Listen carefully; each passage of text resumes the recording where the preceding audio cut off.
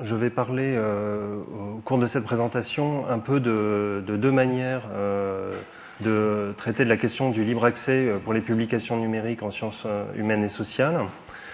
pourquoi de, En présentant deux exemples que sont revue.org d'une part et AL et SHS de l'autre. Alors pourquoi en parler de deux manières? Parce que euh, euh, traditionnellement, lorsqu'on parle d'open access ou d'accès, euh, de libre accès aux, résultats de la recherche, on évoque deux voies, deux manières de développer ce libre accès. Alors dans la communauté des gens qui s'intéressent à la question, on, on parle d'une voie or et d'une voie verte. Euh, telle qu'elle a été un peu théorisée par la, déclaration de Budapest, euh, qui, euh, donc, qui a été signée par plusieurs milliers de chercheurs depuis la rencontre hein, de la Budapest Open Access Initiative en, 2002. Alors, qu'est-ce que c'est que ces deux voies or et verte? Alors, la voie verte, en fait, pour le libre accès aux résultats de la recherche, c'est passe par ce qu'on appelle l'auto-archivage c'est-à-dire euh, par le dépôt par les chercheurs eux-mêmes de leurs publications, de leurs articles, dans ce qu'on appelle des archives ouvertes, euh, qui sont en fait des, euh, des dépôts, hein, des, des, des repositories en, en anglais, dans lesquels les chercheurs vont pouvoir rendre disponibles en priorité à destination de leur communauté scientifique, de leurs collègues, leurs publications, leurs articles, sitôt qu'ils les soumettent en général aux revues. Ça, c'est la voie verte. Et puis il y a une deuxième voie hein, qui est euh, euh, la voie OR de publication en libre accès euh, et qui passe par la création ou le développement de revues électroniques le plus souvent en libre accès et qui là sont des revues éditées en quelque sorte, c'est-à-dire où les publications ont été validées, évaluées, validées qui sont de véritables publications académiques. Et la seule chose qui les différencie euh, des euh, revues dites traditionnelles, celles qu'on peut trouver euh, sur les portails de type Elsevier, etc., c'est que les articles sont en libre accès, c'est-à-dire que la lecture du texte intégral des articles est immédiatement disponible. Alors, lorsqu'on parle de ces deux voies du libre accès pour, pour la science, on évoque en général deux exemples très connus. Donc le premier, pour la voie verte, l'auto-archivage, c'est la célèbre archive ouverte Archive, euh, qui a été créé et développé à partir de 1991 euh, euh, par Paul Ginsberg au Los Alamos National Laboratory et qui porte qui a porté à l'origine exclusivement sur la physique des hautes énergies, les publications, donc les articles en physique des hautes énergies, et puis qui s'est progressivement étendu à d'autres disciplines comme les mathématiques, les euh, sciences de l'information, enfin les computer sciences en, anglais, et euh, d'autres disciplines. Ça, c'est pour la voie euh, verte. Et puis l'autre grand exemple pour la voie or, cette fois-ci, c'est-à-dire les revues en libre accès, c'est la Public Library of Science, qui a été créée beaucoup plus tard, aux alentours de 2001, si mes souvenirs sont bons, euh, et euh, qui euh, vise à, à proposer en fait essentiellement dans les disciplines qui tournent autour de la biologie et de la médecine et de la génétique, des revues électroniques qui sont rassemblées sur ce portail hein, de PLOS, euh, où les publications, les articles sont, euh, sont, en libre accès et il y a un processus d'évaluation de, et de validation euh, des articles avant publication tout à fait classique, euh, comme pour les revues qui ne sont pas en libre accès traditionnellement. Alors on peut se dire, en regardant ces deux exemples, on peut se dire, bon, le libre accès pour les résultats de la recherche, c'est très bien, mais c'est surtout pour les sciences, en fait. C'est-à-dire, on voit là euh, physique, mathématiques, biologie, médecine, euh, génétique. Ce sont, des, euh, disciplines scientifiques et on peut se poser la question est-ce que cette notion de libre accès aux résultats de la recherche est adaptée aux sciences humaines? Ou aux sciences humaines et sociales de manière plus large, est-ce qu'il euh, euh, est possible de, de, développer un modèle pour les sciences humaines et sociales? Alors en général, il y a tout un tas de réponses qui consistent à dire non, alors pour les sciences humaines, c'est différent. Pourquoi? Parce que les sciences humaines reposent sur un modèle de communication scientifique qui est particulier. Hein. En général, quand on parle de sciences en général, les chercheurs en sciences humaines disent ah oui mais nous c'est différent, les sciences humaines c'est vraiment particulier, c'est pas la même chose que les autres, etc., etc. Donc on retrouve ce type d'argument euh, auquel je suis tout à fait prêt à souscrire d'ailleurs, euh, qui consiste à dire, bah alors pour les sciences humaines c'est un peu particulier parce que les publications en sciences humaines par exemple accordent un poids beaucoup plus important au papier, c'est-à-dire à, l'imprimé, que les publications en sciences euh, de type physique, mathématiques ou biologique qui sont passées au numérique depuis très très longtemps, depuis beaucoup plus longtemps en tout cas. Les sciences humaines, c'est un peu particulier parce que euh, on accorde une importance moins grande à la nouveauté, c'est-à-dire qu'un article ou un ouvrage qui a été publié il y a plusieurs années, voire dizaines d'années, a toujours la même validité qu'un ouvrage nouveau, qu'une nouveauté hein, qui vient de, sortir, euh, d'être publié, ce qui n'est pas tout à fait vrai euh, dans euh, les autres disciplines scientifiques. C'est particulier aussi parce qu'on accorde un poids scientifique plus important à la monographie, c'est-à-dire au livre, plutôt qu'à l'article de revue, ce qui est le contraire euh, en physique, en mathématiques, etc. C'est euh, particulier aussi parce que le champ des sciences humaines et sociales est fragmenté. Il est fragmenté au niveau linguistique. Euh, il y a des publications dans toutes les langues du monde en sciences humaines et sociales, alors que la plupart des chercheurs euh, en physique, par exemple nucléaire, publient en anglais directement et ne voient pas d'intérêt à publier en espagnol, en italien, en français, etc. Et parce qu'il y a une fragmentation épistémologique aussi, qui fait qu'à l'intérieur d'un champ scientifique, même d'une discipline, vous avez plusieurs modèles épistémologiques qui s'affrontent, ce qui n'est pas forcément le cas dans d'autres disciplines, etc., etc. Tout un tas d'arguments qui consisteraient donc finalement à dire le libre accès, finalement, c'est quelque chose qui vient d'un modèle de communication pour les sciences dures, hein, pour les, sciences exactes, qui est totalement adapté aux sciences exactes, mais qui est peu ou pas du tout adapté aux sciences humaines et sociales. Alors, ce que je vais essayer de montrer, c'est que c'est par le biais de deux exemples qu'il est en fait possible de promouvoir le libre accès, de développer le libre accès euh, pour les sciences humaines et sociales sur ces deux voies, c'est-à-dire la voie verte et la voie or. Alors ces deux exemples, c'est tout d'abord le portail euh, revue.org. Alors, euh, alors je vais prendre, excusez-moi, hein, je, vais prendre deux exemples français. En fait, je crois que c'était un peu la, mission qui m'était assignée, donc ce sont deux exemples français.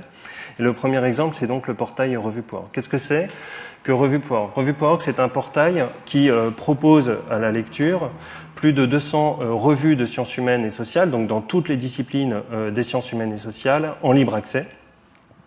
Euh, et euh, dedans, donc, dans ce portail, vous allez trouver des revues euh, d'histoire, de géographie, de sociologie, de littérature, de la plus d'économie, d'archéologie et donc de la plupart des la, la, plupart des disciplines de sciences humaines et sociales y sont représentées. Alors,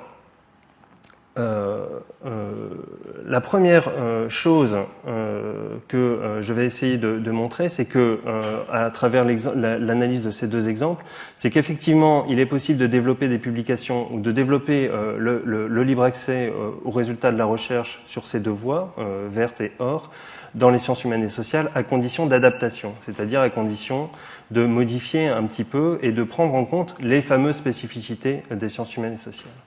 Alors, la première spécificité, c'est le fameux poids du papier. Effectivement, lorsque euh, ce portail s'est développé à partir de 1999, un des premiers obstacles auxquels, euh, avec un engagement fort pour le libre accès, un des premiers obstacles auxquels il a été rapidement confronté, c'est que la plupart des revues ne voulaient pas d'abord être diffusées sur support papier imprimé et ne voulaient pas abandonner cette diffusion imprimée et passer au numérique euh, sans, euh, sans euh, lâcher la diffusion imprimée. Alors la solution entre guillemets qui a été trouvée pour répondre à ce besoin, ça a été le principe, la mise en place du principe de la barrière mobile,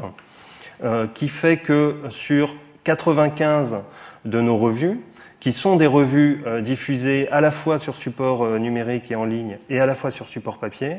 eh bien, il y a une barrière mobile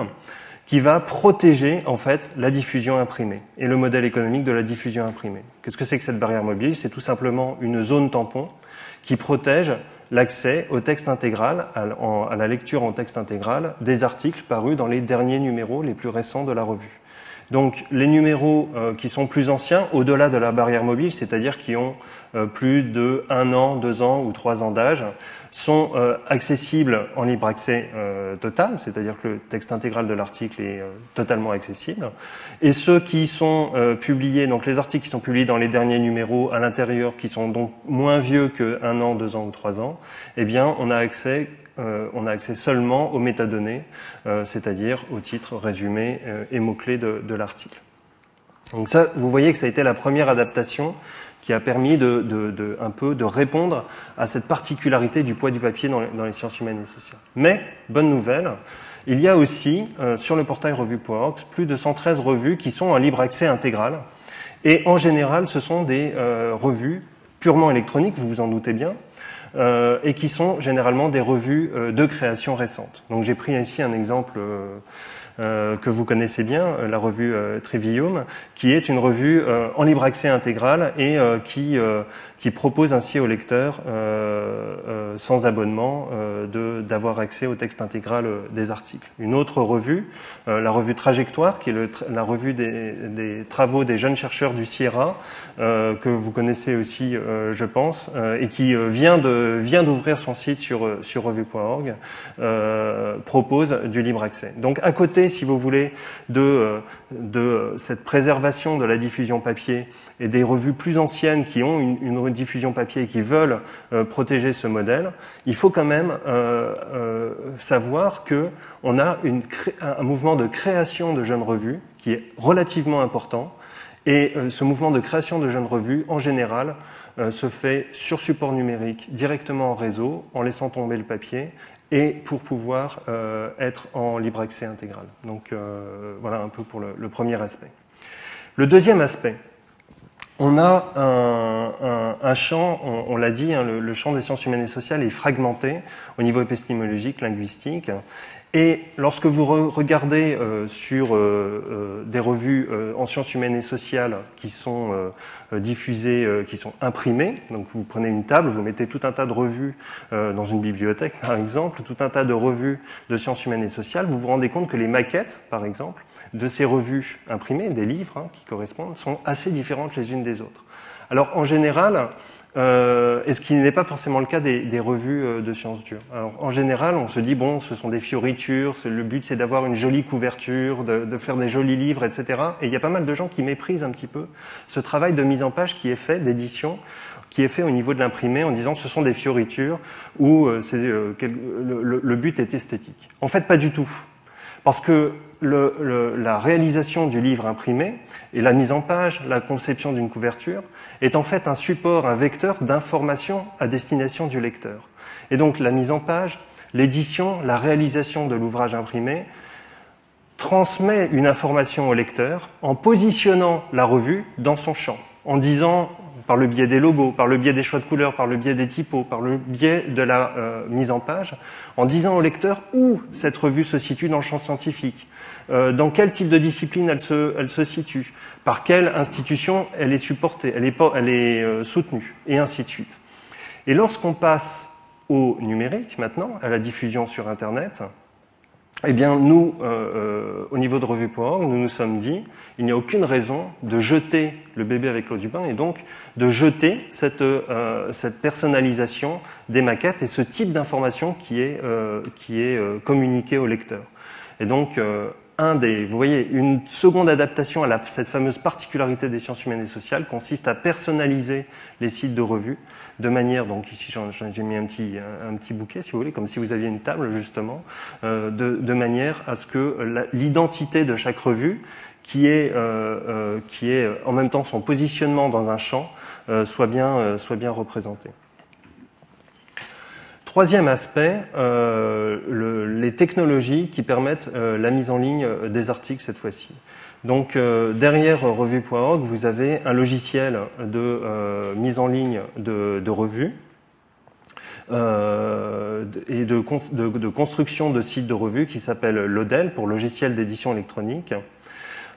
et qui repose, qui est un logiciel libre hein, que, nous avons, développé, donc qui est librement téléchargeable et utilisable, et que nous utilisons pour, pour notre portail de revue, et qui repose sur deux aspects assez essentiels. Premier aspect, il utilise des formats euh, de documents en entrée et en sortie. En entrée, ce sont des documents euh, de type bureautique ou, euh, ou PAO pour, pour les revues en particulier qui, qui sont aussi diffusées sur support papier imprimé. Et en sortie, avec le format XML avec la DTD TEI qui est propre aux sciences humaines et sociales. Donc le logiciel LODEL que, nous utilisons, et en particulier une brique à l'intérieur de ce logiciel qui s'appelle OTX, OpenText, eh bien, utilise des formats de conversion de documents qui sont euh, adaptés euh, aux euh, sciences humaines et sociales. Donc vous ne trouverez pas de tech ici, par exemple, en particulier, et ni de DTD DocBook pour ceux, qui connaissent, qui est plus adapté aux sciences. L'autre chose qui est importante, c'est la notion d'appropriation qui est au cœur de la démarche de, de revue.org, qui fait que ce logiciel de publication en ligne d'articles de revues et de revues peut être euh, approprié, peut être utilisé directement par les, euh, les, rédactions de revues elles-mêmes et les secrétaires de rédaction et les secrétaires d'édition qui travaillent au niveau des revues elles-mêmes. Donc contrairement à d'autres initiatives, il n'y a pas euh, sur revue.org ou euh, à la marge seulement de délégation du travail de mise en ligne à euh, ni des informaticiens ni euh, des techniciens particuliers au niveau de l'équipe du Cléo euh, pour la mise en ligne des, revues ou des articles de revues. Il y a appropriation par les comités de rédaction de revues, par les, revues elles-mêmes, de ce travail de mise en ligne de leurs articles et de leurs numéros. Avec donc tout un, travail de formation des équipes et des, des secrétaires d'édition qui, est, qui est pris en charge au niveau de revue.org. Alors, euh, être adapté à la tradition des sciences humaines et sociales n'empêche pas une certaine forme d'innovation. Donc, il y a euh, des innovations technologiques qui, du coup, sont permises par ce travail. Euh, je prends ici, je vous montre deux exemples. Euh, le premier exemple, donc celui de la, de la carte que vous voyez à gauche, euh, oui gauche pour vous, euh, est un, une carte interactive. Donc on en a un tout petit peu parlé tout à l'heure justement à propos de l'intervention de, Virginie Clessen sur la, la question de l'invention un peu et de l'innovation dans les formes de publication. Euh, dans le cas à gauche, qui est un, une carte qui se trouve à l'intérieur d'un article portant sur euh, la, diffusion de l'épidémie de chikungunya euh, dans l'île de la Réunion, sur une revue de géographie, vous avez ici donc une carte de l'île de la Réunion qui est interactive et donc qui permet au lecteur, en fait, en cochant ou en décochant les cases que vous voyez en bas de la carte, de faire apparaître un certain nombre de points ou un certain nombre de limites de l'expansion de de l'épidémie. Et donc donc on a ici, si vous voulez, sous forme d'un document multimédia, non pas encore une fois euh, une espèce de gadget supplémentaire, ah c'est joli, ça bouge, où il y a des couleurs, mais il y a ici une euh, intrication avec l'administration de la preuve scientifique euh, qui s'appuie désormais en fait sur des technologies interactives permettant d'appuyer l'argumentation et la démonstration de l'auteur.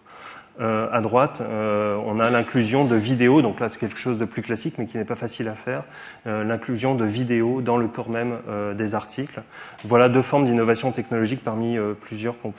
sur lesquelles dont je pourrais vous parler. Et puis il y a aussi des innovations éditoriales, en particulier en ce qui concerne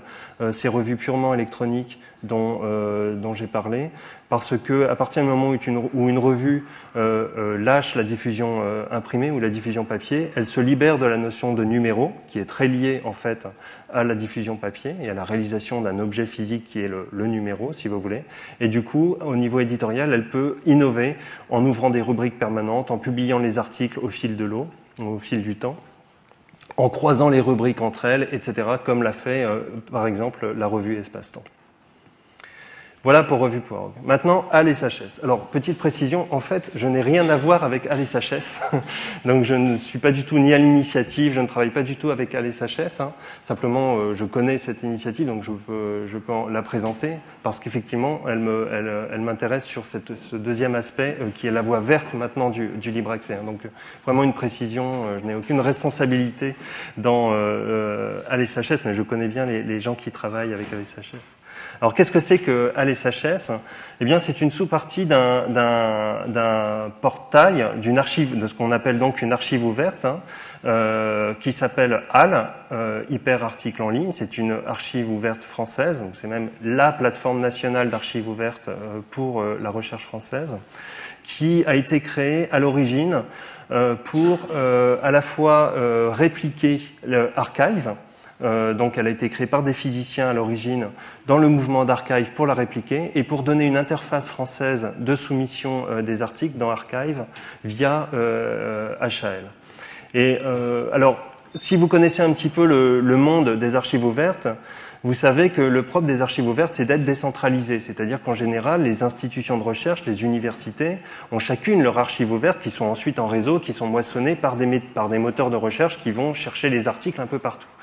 Bon, euh, il y a là, je crois, le poids d'une tradition française, cette fois-ci, qui est celle de la centralisation un petit peu jacobine, qui fait que nous, nous avons notre exception française dans les archives ouvertes, qui est d'avoir créé une plateforme euh, française euh, centralisée pour la production française des de scientifiques, hein, des, des, chercheurs français. Bon, c'est notre particularité que vous connaissez bien, que vous soyez allemand ou français, je pense. alors, avec ça, la question, c'est comment prendre en compte cette fameuse particularité euh, des, sciences humaines et sociales Eh bien, il y a eu la création de HAL SHS, donc Hyper Article en ligne sciences humaines et sociales, qui est une espèce de sous-partie de HAL, euh, qui est un portail dans HAL et qui euh, propose, dans l'état actuel des choses, 22 000 documents en libre accès en texte intégral. Donc, vous voyez 22 000 documents sur les 135 000 que comportent toutes les disciplines scientifiques de HAL, c'est pas totalement négligeable. Et je crois qu'on peut dire qu'il y a que la fameuse particularité des sciences humaines et sociales qui empêcherait les, chercheurs de déposer leurs propres articles dans une archive ouverte, eh bien, on a ici la preuve du contraire. Hein. Euh, il est tout à fait possible pour les sciences humaines et sociales de déposer euh, leurs articles. Et euh, les sciences humaines et sociales représentent 17% aujourd'hui de, l'archive au niveau du nombre de documents disponibles. Euh, alors, euh, cette particularité, alors ce qui est intéressant, c'est que le fait d'avoir euh, ainsi subdivisé à l'intérieur de HAL une, espèce de,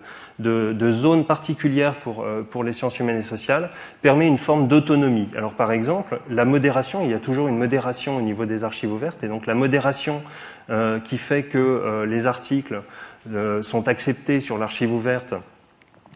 pour éviter que n'importe qui mette absolument n'importe quoi sur, sur l'archive ouverte, eh bien cette modération pour les sciences humaines et sociales est prise en charge par des documentalistes spécialisés en sciences humaines et sociales, et qui sont ici euh, euh, des documentalistes de l'Institut des sciences de l'homme à Lyon.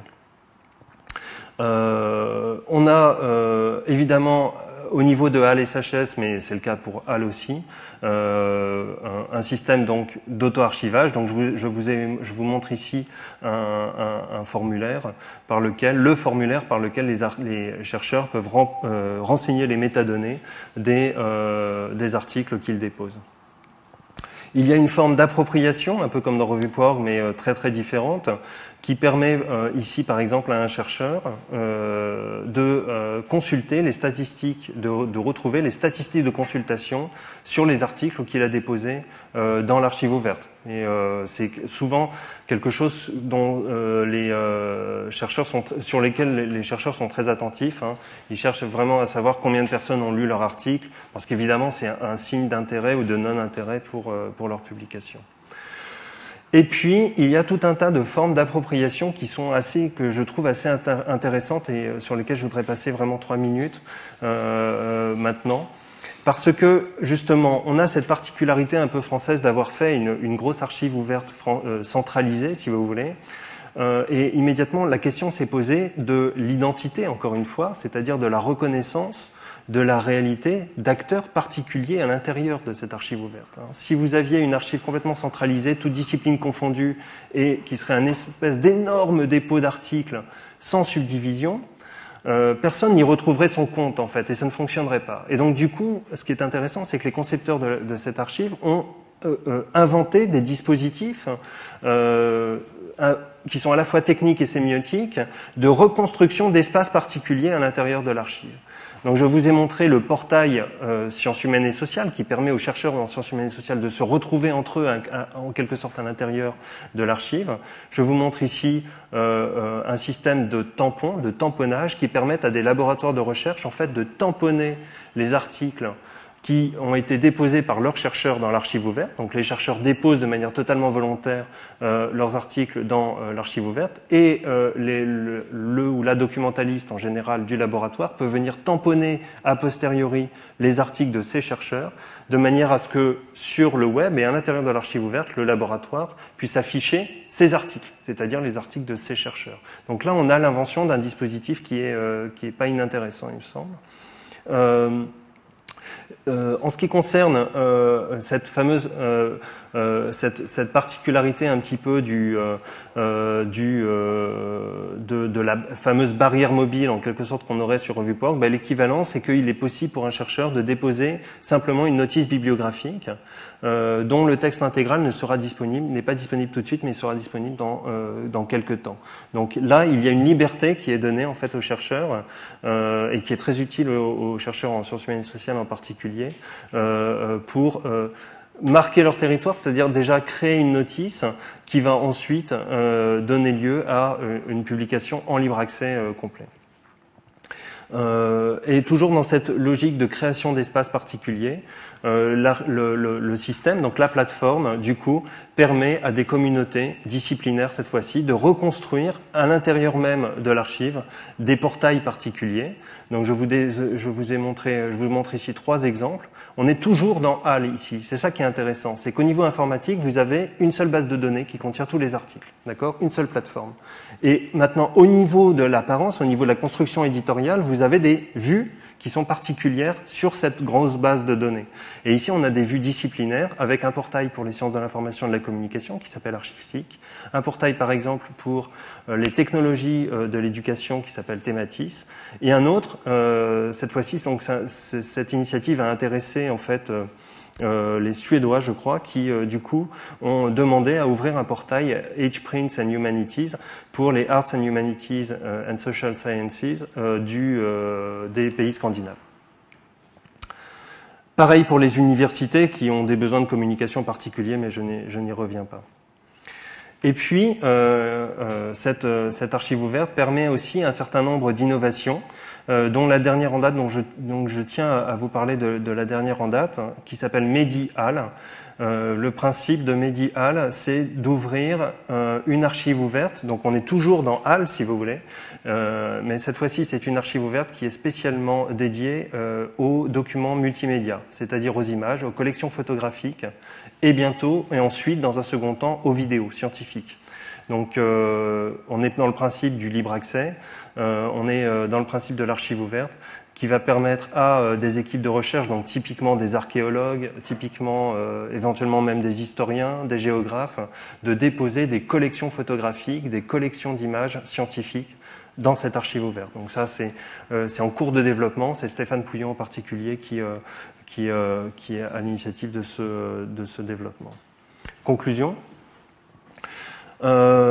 j'ai envie de dire, pour rebondir un petit peu euh, d'abord sur euh, la, communication de, de Jean-Noël Jeannet qui a appelé à plus d'État pour la numérisation, j'ai envie de dire, ben, pour le libre accès, l'édition électronique ouverte et les archives ouvertes pour les sciences humaines et sociales, il me semble assez clair qu'il y a aussi un besoin d'État. et je ne me satisferai pas d'un partage des rôles qui, par exemple, consisterait à dire que euh, la puissance publique ou les euh, finances publiques devraient être consacrées uniquement à la numérisation rétrospective de choses qui ont été éditées par le secteur privé euh, et donc dans le cadre de bibliothèques, tandis que tout ce qui concerne l'édition native en ligne, de sciences humaines et sociales devraient être prises en charge exclusivement par le secteur privé. Ça ne me semble pas tenable parce qu'il me semble que ces initiatives n'existeraient pas, euh, en fait, euh, n'auraient pas pu se développer sans, euh, sans euh, fonds privés, sans, sans investissement public, sans fonds publics, excusez-moi, sans investissement public. pourquoi? Ben, Tout simplement parce que le, le portail revue.org est développé par le Centre pour l'édition électronique ouverte auquel j'appartiens, qui est une unité appuyée sur le CNRS, l'Université de Provence, l'École des hautes études en sciences sociales, euh, l'Université d'Avignon et le TGEA de Nice, qui sont toutes des structures publiques. Et pourquoi aussi? Parce que tout simplement, euh, HAL, Hyperarticle en ligne, est une initiative qui est développée par le Centre pour la communication scientifique directe, qui est une unité du CNRS. Donc, ce sont des financements à 100% publics. Euh, et ça, euh, voilà, il y, a, vraiment quelque chose euh, qui, est, qui a à penser aussi à ce niveau-là, de, de, vraiment faire attention que les fonds publics ne doivent pas être entièrement consacrés et ou seulement consacrés aux, initiatives de numérisation, mais aussi pour le présent et pour l'avenir, pour l'édition électronique native et vivante. Et puis le dernier point, justement, à ce propos, il y a quelque chose qui m'a un peu frappé dans la journée d'aujourd'hui, et en particulier euh, dans la, dernière table ronde qu'on a entendue, c'est une espèce de disjonction qui me semble assez forte en fait entre les initiatives de numérisation du patrimoine culturel justement et de numérisation de euh, textes imprimés d'un côté, on voit tout un tas de logiques, de problématiques qui se développent, de prises de position, et puis cette édition nativement numérique dont Virginie Clessen par exemple vient de, vient de parler aussi, j'ai eu un, peu, je ne sais pas vous, hein, mais moi j'ai eu un peu un sentiment d'un choc de culture en quelque sorte, avec vraiment deux mondes qui euh, se parlent pas tellement, en fait, finalement. Euh, et donc la question que je voudrais poser finalement en, en, termes de, en guise de conclusion, c'est comment est-ce qu'on... Il me semble que les deux sont terriblement importants. Hein, pour des raisons de continuité de la culture justement et de continuité culturelle, euh, euh il est important d'avoir de marcher sur ces deux pieds numérisation et aussi édition euh, nativement euh, numérique. Et donc la question qu'il faut se poser, c'est comment les articuler, euh, comment bien les articuler, comment pouvoir discuter ensemble. Et peut-être que Claudine Pay, euh, qui, euh, qui, parlera tout à l'heure, pourra justement répondra partiellement à cette question parce que, en discutant avec vous, vous me disiez justement qu'au niveau de l'Institut, vous aviez des initiatives qui étaient à la fois de numérisation et d'édition en ligne. Et donc, ça pourrait être intéressant. Voilà, je passe le flambeau aussi pour cette raison. Merci.